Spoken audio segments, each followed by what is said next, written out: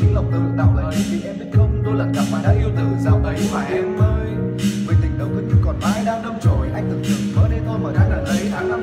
Đã về được một lối những ngày đó còn ngoài hương Ơi, em còn trong ngõ vắng, đâu trông nhớ và hoài thương. Phải chăng đưa xa cốt không phải trên thanh đất mày trời, Mà là khi mình cạnh nhau mà sao chả thể nói hết thành lời? Hay chỉ nhớ nụ cười, khóe môi, Hoặc là đôi khi biết mình còn tầm một khoảng chờ thế thôi, Những chiều đã từng qua, bao giây phố tầng lầu. Chả biết em giờ có còn nhớ cái cảm giác ấy lần đầu. Là khi ta gọi em ơi thích âm phần vọng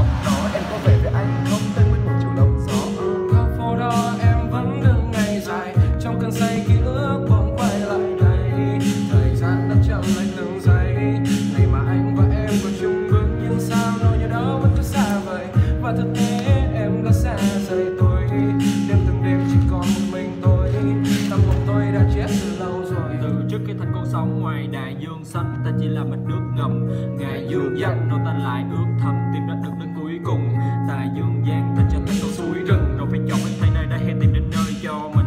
Mọi thứ ở trong tầm mắt để dần trở nên vô tình. Vì ta mãi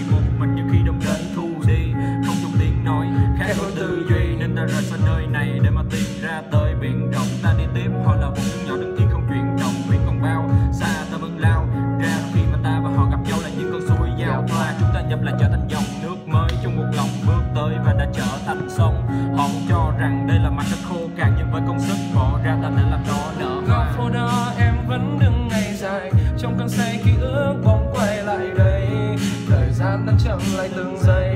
Ngày mà anh và em còn chung bước, nhưng sao mà nhớ đó vẫn cứ xa vời? Và thực tế em đã xa rời tôi. Đêm từng đêm chỉ còn một mình tôi, tâm hồn tôi đã chết từ lâu rồi. Tình đã gió nhẹ lên đôi bờ môi. Tóc che mắt anh và nghĩ trời xanh mờ tối. Lối về phố nhỏ vẫn in đậm đôi bàn chân. Còn thương nhau ở đâu mà em tình treo ngàn cân? Vì ta không suy nghĩ thấu đáo nên em chưa tình về đôi. Mơ hạnh phúc làm gì để cuối ngày mình lẻ loi. Gian nan vất vả mới biết tính. Người có xin ăn có sự cố gắng mới đạt được chính. Mười anh ôm chặt vòng tay dở dang. Đêm về ôm thở than, nhà ánh mắt hướng nhìn về em đẹp như cơn mơ sau trời lại sáng.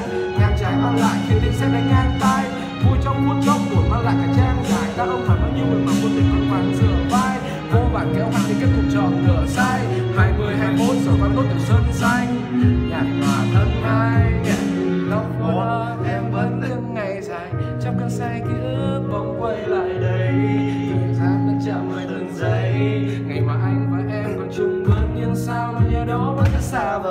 Và thực tế em đã xa rời tôi. Đêm từng đêm chỉ còn một mình tôi. Tâm hồn tôi đã chết từ lâu rồi. Yeah. For life Thank you sao for life Sao em, em, rapper của Minh Xin luôn hả? Dạ đọc á. Ông đọc dài Ờ nhưng mà anh có tưởng là em rap được anh